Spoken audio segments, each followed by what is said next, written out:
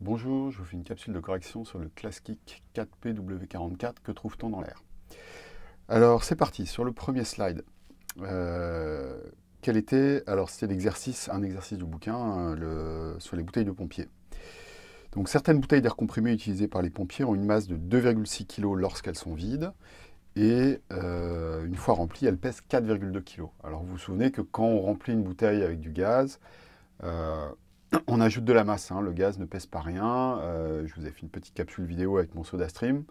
Je pesais l'eau avant de rajouter du CO2 dedans, je repesais après, on voyait que même avec ma balance de cuisine, j'arrivais à avoir quelques grammes de différence.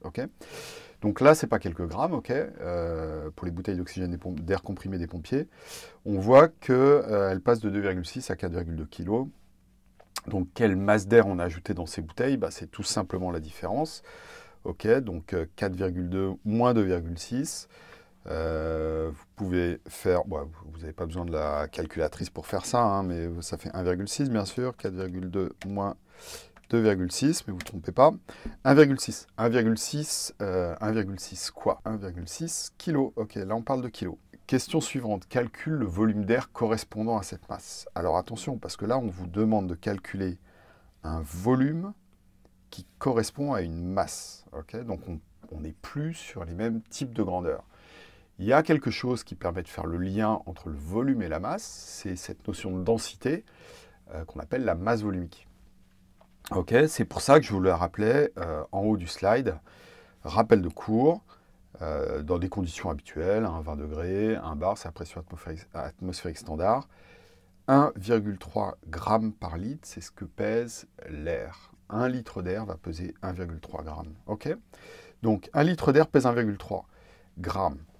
Ici, on ne parle pas de grammes, ici on est sur des kilos. Donc on va avoir déjà, euh, si on veut pouvoir travailler avec cette masse volumique qui est en grammes par litre, et euh, cette masse qu'on a calculée qui est en kilos, il va falloir qu'on mette les deux d'accord. On peut faire une conversion de la masse volumique, euh, comme on a déjà fait, comme vous avez appris à faire, hein. convertir la masse volumique de 1,1 g par litre en kilos par litre. Mais plus simplement, on va tout simplement traduire ces 1,6 kg en grammes. Alors attention, il y en a qui me font encore l'opération à l'envers, 1,6 kg en grammes. Euh, vous ne trompez pas, ça va faire 1600 grammes. Si vous avez un doute, vous reprenez un bon vieux tableau, vous avez 1,6 kg à placer dedans. Alors souvenez-vous, le chiffre des unités, c'est le 1. On le place dans la colonne correspondant à l'unité, c'est-à-dire kilo. Donc le 1, il va aller ici et vous rajoutez le reste, vous mettez le 6 derrière, mettez pas les virgules dans les tableaux, parce que vous avez tendance à garder la virgule à la même place, alors que non, à partir du moment où vous changez d'unité, la virgule change de place. Et nous, on veut savoir en grammes, justement. Ah bah, si on veut savoir en grammes, la nouvelle unité, c'est le gramme, on a complété avec des zéros, on arrive à 1600 grammes. Ok. 1600 grammes, c'est le poids de l'air qu'on a ajouté dans la bouteille. On revient à notre histoire de masse volumique, ici, 1,3 g par litre quand vous voyez 1,3 g par litre, ça veut dire que 1,3 g correspond à 1 litre, 1,3 g par, litre. Hein. Par litre, ça veut dire pour 1 litre. Donc, la question, euh, ce qui nous intéresse, nous, c'est de savoir pour 1600 grammes. Alors attention, votre 1600, vous le mettez bien dans la colonne. Hein, ça, c'est un tableau. Un tableau de proportionnalité, comme vous avez appris à manipuler l'an dernier. Euh, dans la colonne des masses exprimées en grammes, vous mettez vos 1600 grammes. Et la case qui reste, c'est la règle de 3, le produit en croix. Hein. il, suffit de multiplier les deux chiffres de cette diagonale-là et de les diviser par celui qui est en face.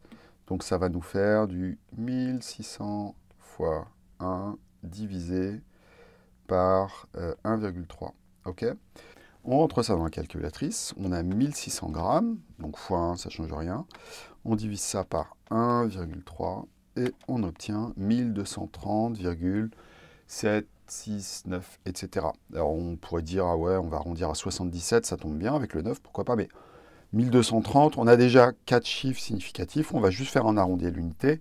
L'arrondi à l'unité ici, ça va être 1231, hein, puisqu'on a un 7 après le chiffre des unités, hein, au niveau des dixièmes. 1231, donc le résultat de notre calcul, 1231, si on arrondit. Donc on est sur des litres, hein, bien sûr. Donc la réponse, le volume ici, c'était 1231 litres. Ok? Euh, Voilà. ça c'était pour le premier exercice sur la masse de l'air. On passe sur le deuxième exercice, le ballon de basket.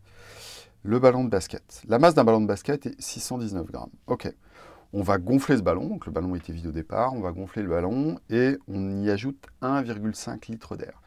Donc là, c'est par rapport à tout à l'heure, on nous donnait la masse d'air qu'on ajoutait dans la bouteille. On voyait le poids, la différence de poids sur la bouteille.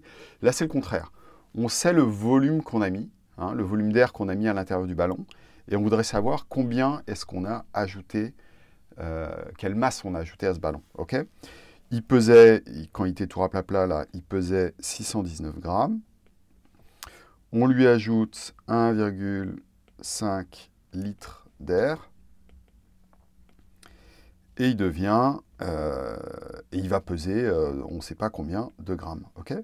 Donc, on cherche une différence de poids et on nous donne l'ajout d'une masse. Bah, là encore, on va utiliser nos fameux 1,3 grammes par litre. ok? 1,3 grammes par litre, c'est-à-dire que 1,3 grammes, c'est ce que pèse 1 litre. ok? C'est la correspondance entre ces deux choses-là. Donc, nous, on n'a pas 1 litre ajouté, on a 1 litre 5. ok?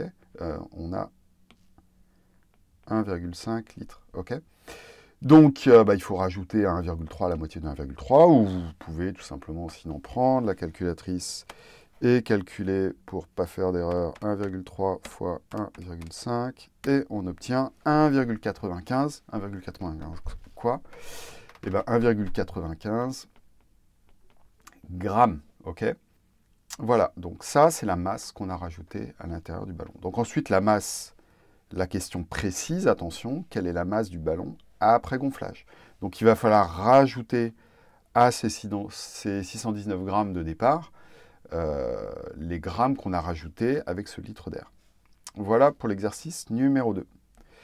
On passe sur le slide suivant. Le slide suivant, c'était euh, sur la distillation. Je vous rappelle rapidement, la distillation, ça utilisait la propriété qu'ont euh, certains éléments, certaines molécules, à avoir des points d'ébullition différents. Si vous faites bouillir de l'eau, elle va, elle va bouillir à 100 degrés. En ce qui concerne par exemple les composants de l'air, si on veut séparer l'oxygène euh, le dioxygène et le dihydrogène de l'air, on va pouvoir utiliser le fait qu'ils ont des points de fusion différents. On avait ici, je vous avais donné sur le, sur le cours, les points d'ébullition correspondant au dioxygène et à l'azote. Hein. On voit qu'on est à moins 196 la température d'ébullition du diazote, et euh, moins 183 la température d'ébullition du dioxygène. On avait l'argon qui est à peu près euh, au même niveau d'ébullition, il va être plus difficile à dissocier du dioxygène. Mais l'idée, c'est vous allez refroidir tout ça, vous allez mettre ça, mettons, à moins 200 degrés, moins 200 degrés, tout va être liquide. Et vous allez monter progressivement la température. Qu'est-ce qui va bouillir en premier? Ben, Dès que vous allez être au-dessus de moins 196, euh, vous allez avoir votre diazote qui va avoir tendance à bouillir à s'évaporer. Euh, donc on va utiliser, c'est là où on utilise la colonne de distillation. Euh, donc votre, vous avez votre mélange, donc là c'est un mélange de gaz, hein. on va imaginer, alors c'est pas du tout au bec benzène, euh, là ça serait plutôt une distillation sur, par exemple pour euh, récupérer de l'alcool dans un mélange d'eau et d'alcool. Mais si on est sur de l'air, donc si on va avoir de l'air liquide, on le refroidit vraiment très fort, et là quand on va commencer à le laisser se réchauffer, il n'y a pas besoin de mettre le bec benzène dessus, il faut y aller tout doux parce qu'on veut être on part, souvenez-vous, moins 200 degrés, moins 190, moins 180, moins 170. On reste dans ces, euh, dans ces gammes de température très froides. On commence à chauffer. Et eh ben, on va avoir à moins 196 le diazote qui va commencer à bouillir, alors que c'est toujours trop froid, l'oxygène va tendance à rester liquide, l'argon aussi. Donc le diazote, il va avoir tendance à bouillir. Il va, il va monter dans la colonne de distillation. Hein. on a toujours un thermomètre dans la colonne de distillation qui permet de surveiller la température euh, pour être certain qu'on est bien en train d'extraire le diazote et qu'on n'est pas en train de commencer à évaporer l'oxygène. Et euh, ce gaz, en fait, va ensuite passer dans un tube qui va être un peu plus froid, qui va recondenser, euh, qui va permettre de recondenser si on veut récupérer cet oxygène de façon liquide. voilà, donc ce qui va s'évaporer en premier, on le recondense ici. Alors là, dans cette dissociation eau-alcool, on le recondense en faisant tout simplement passer de l'eau dedans. Hein. donc euh, de l'eau à température ambiante, on est dans les 20 degrés. Euh, Ce n'est pas du tout, bien sûr, ce qu'on utiliserait pour séparer l'oxygène et l'hydrogène. Hein. C'est un système plus compliqué, mais celui-là est plus facile à plus facile pour comprendre. Donc ça, c'est notre tube réfrigérant qui permet de condenser. Euh, et on récupère à la fin ce qu'on appelle notre distillat. C'est le produit de la distillation, c'est ce qui s'est évaporé en premier. Si on avait plusieurs éléments à séparer, et eh ben, au fur et à mesure que la température monte, euh, on va récupérer euh, d'abord ce qui s'est évaporé en premier, ensuite on va mettre un autre récipient, récupérer la suite, etc. Euh, voilà, alors je reviens sur la correction du classique. Ici, il s'agissait tout simplement de remettre les différents éléments. Le, réfrigérant, le réfrigérant, je vous ai expliqué ce que c'est, ce qui permet de refroidir le premier gaz qui s'est évaporé. Le distillat, c'est ce qu'on obtient à la fin, donc ça va se passer ici. Le chauffe-ballon, ça remplace un peu la, la flamme qu'on avait sur l'autre schéma, c'est ce qu'on a dessous, euh, sous notre ballon bien sûr. La colonne à distiller, c'est la partie où se dégagent les gaz ici. Et le thermomètre, bien sûr, je vous ai dit, tout en haut de la colonne à distiller, en fait, qui est au point où on va avoir euh, ce gaz qui passe dans la colonne à distiller, on veut surveiller qu'on est bien à la bonne température. Euh, voilà pour ce schéma à compléter. Slide suivant. Alors, slide suivant, c'est sur la composition de l'air. Euh, rappelle les pourcentages des deux principaux gaz composant l'air. Ok? Donc là, il faut vous souvenir, en gros, on est à 4 cinquièmes, 1 cinquième. 4 cinquièmes de diazote, 1 cinquième de dioxygène. 78% et 21% si on veut être précis. Et il reste un petit pourcentage de, différentes choses. mais 80 et 20, c'est l'ordre de grandeur, euh, en 4, 4 5e, 1 5e en fraction. Euh, arrondir à l'unité, 78 euh, et 21, donc pour moi c'était la réponse attendue. Parmi les représentations suivantes, choisis celle qui représente l'air qui, qui, nous entoure en justifiant ton choix. Ici, on est sur des modélisations. on voit qu'on a modélisé quoi? On a modélisé déjà deux molécules différentes. Hein, la molécule de diazote a été modélisé avec euh, des, petits, euh, des petits rectangles bleus et la molécule de dioxygène des petits rectangles rouges. Hein. Dans vos modélisations, essayez d'utiliser de préférence, euh, si, vous êtes en train de les dessiner, vous avez les feutres qui vont bien, les couleurs habituelles, le carbone en noir, le diazote en rouge, etc. Le dioxygène en rouge, enfin la molécule d'oxygène ou de dioxygène en rouge, le diazote en bleu, euh, voilà, c'est plus simple. L'hydrogène, par exemple, plutôt en blanc en général. Après, dessiner en blanc, c'est plus compliqué, mais vous pouvez juste cercler en, euh, faire un cercle blanc sans le remplir, par exemple. Et vous pouvez bien sûr jouer sur les formes pour lever aussi les ambiguïtés. Si vous n'avez pas de couleur, vous pouvez parfaitement modéliser les différents composants en utilisant des triangles, des ronds, des carrés, etc. Alors, ici, sur le premier modèle, donc la question c'était, euh, choisis celle qui représente l'air, Hein, l'air qui nous entoure, l'air qui est dans cette pièce, en justifiant ton choix. Explique pourquoi les autres représentations ne conviennent pas. La première, ben, la première, on voit ici, il n'y a que du diazote. Et on sait bien que dans l'air, on a un mélange de diazote et de dioxygène. Donc celle-là, déjà, on pouvait l'éliminer. La deuxième, on a bien un mélange des deux. Est-ce qu'on est sur des proportions correctes? Alors, on peut compter tout simplement 1, 2, 3, 4, 5, 6, 7, 8. 8 et 2, c'est-à-dire 80% et 20%, si on raisonne en pourcentage, on est bien sur les proportions 78 et 21, on est 4 5e, 1 5e, on est en gros sur les proportions de l'air. On aurait pu mettre 78 euh, petits, euh, petits bâtons bleus, 21 bâtons rouges, et puis un bâton par exemple noir pour représenter l'argon. Euh, ça aurait été une autre façon de faire, mais ça fait quand même beaucoup de... ça fait une représentation très compliquée. Et là, on ne vous demandait pas de... On, restait sur les deux principaux gaz, Donc 4 cinquièmes, 1 cinquième. Ici, on, on respecte bien ces proportions. Une autre proportion qu'on aurait pu faire, c'est de mettre tout simplement 1, 2, 3, 4 bâtons bleus et un seul bâton rouge. C'était une représentation qui collait aussi, parce qu'on respectait les proportions. Euh, donc au niveau des proportions, c'est bon. Euh, celui-là, ça a l'air de coller. Mais si on compare par exemple avec son voisin, on a 1, 2, 3, 4, 5, 6 molécules bleues, c'est-à-dire de diazote, et 2 molécules rouges d'oxygène.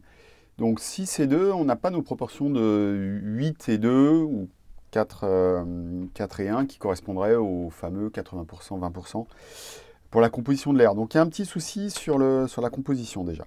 Deuxième souci, ça, correspond à peu près, hein, comparé à ici où il n'y avait pas du tout d'oxygène, mais ce n'est pas tout à fait ça. L'autre chose, par contre, qui nous permet d'écarter radicalement ce modèle, c'est le fait que pour... On, donne au niveau de l'exercice, euh, choisis celle qui représente l'air qui nous entoure. L'air qui nous entoure, c'est un air qui est sous forme gazeuse. un gaz occupe tout l'espace disponible. Ici, on n'occupe que le bas, exactement comme ferait un liquide. si vous mettez un liquide, il va occuper un certain volume, il n'ira pas plus haut. Donc là, en l'occurrence, on n'est pas sur du gaz, ça ne peut pas être celui-là. Modèle numéro 4, là on est bien sur un gaz, on va occuper tout l'espace, ça plutôt. Euh, là on est bien sur un gaz, on va occuper tout l'espace. Par contre, si on regarde la proportion, 1, 2, 3, 4, 5, 6, 7 et 2, on a presque les 80-20%, mais c'est inversé. On a beaucoup plus d'oxygène que de diazote. Ça ne correspond pas à la composition de l'air. Donc vous voyez finalement, sur chacun de ces quatre modèles, on peut savoir si la modélisation est correcte par rapport à l'air. Est-ce que ça respecte la bonne proportion? Est-ce que l'agencement des molécules entre elles correspond au fait qu'on soit sur un gaz? Euh, Voilà, on pouvait donc euh, identifier celui qui correspondait euh, au bon modèle. On passe sur le slide numéro 4. Alors, un cachet effervescent. Donc on observe ici, on voit un cachet, un cachet voilà, qu'on a mis dans l'eau, comme un médicament, vitamine C, choses comme ça, décrit le phénomène qui a lieu. Alors qu'est-ce qu'on observe, qu'est-ce qu'on observe ici? Bah, Si on regarde un peu en détail, on voit qu'il y a un dégagement gazeux. il y a des bulles, il y a des bulles qui se dégagent. donc la réponse, c'était un dégagement gazeux.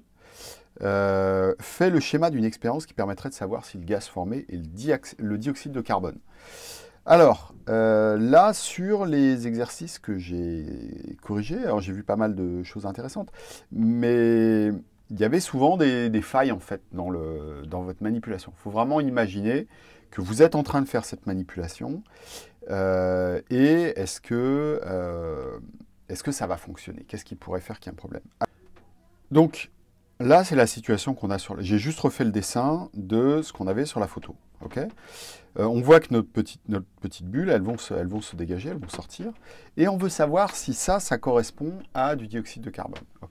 Donc il faut qu'on puisse récupérer ce gaz afin de pouvoir le tester. Et vous vous souvenez normalement que pour tester euh, si un gaz est du dioxyde de carbone, on peut le faire barboter dans du, euh, de l'eau de chaud.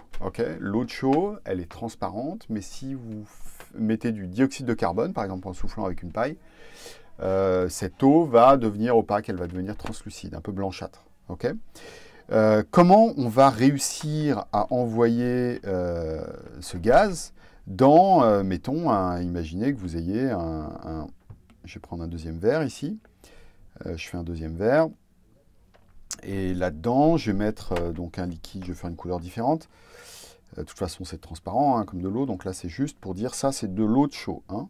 Donc, je ne vais pas mettre la légende dedans. Je vais faire plutôt un petit trait ici et dire ça, c'est de l'eau de chaud. Pensez à légender vos schémas. Donc, comment est-ce qu'on va amener euh, notre CO2 ici à l'intérieur de l'eau de chaud ben, Il faut forcer le gaz. Donc, une, façon de faire, hein, ça pourrait être d'avoir un, bouchon, par exemple, euh, mettons un bouchon, de, un bouchon de liège qui fermerait, euh, qui fermerait ce, verre. Alors, en TP de chimie, on ne va pas utiliser un verre de cuisine, on va utiliser euh, un Erlenmeyer par exemple, pour lequel on aurait un bouchon en plastique percé dans lequel on peut passer un tube en verre. euh, l'idée, euh, voilà, je veux que l'idée soit la bonne. Après, au niveau du matériel, si vous pouvez utiliser spécifiquement le matériel euh, de TP de chimie, c'est parfait. Et donc là, on va avoir un tube, un tube en verre. Donc là, on va avoir notre gaz, au lieu de s'échapper, au lieu de s'échapper librement dans l'air, hein, il est bloqué par le bouchon. Le seul endroit où il va pouvoir s'échapper, vraiment, ça va être via ce tube. Ok, et donc il y a tout ce gaz qui arrive, qui va finir par venir barboter ici, refaire des petites bulles de l'autre côté. Et sous l'effet de ces petites bulles, ben, on va avoir l'eau de qui va se troubler, qui va devenir blanchâtre. Ok donc ça, c'est une expérience qui permet de tester euh, si le gaz produit par ce dégagement est bien de, euh, du gaz carbonique, hein, du CO2. Ok, euh, autre chose, donc là vous pouvez expliquer l'autre chose trouble, on est bien sur du dioxyde de carbone. Donc voilà, ça c'était pour la correction du classique W44. Donc si vous n'arrivez pas à trouver certaines réponses, si vous avez des doutes, euh, cette vidéo normalement vous aura permis de les lever. Et je vais vous préparer deux autres capsules pour les deux autres classiques que vous avez à maîtriser avant le DS. Allez, bon courage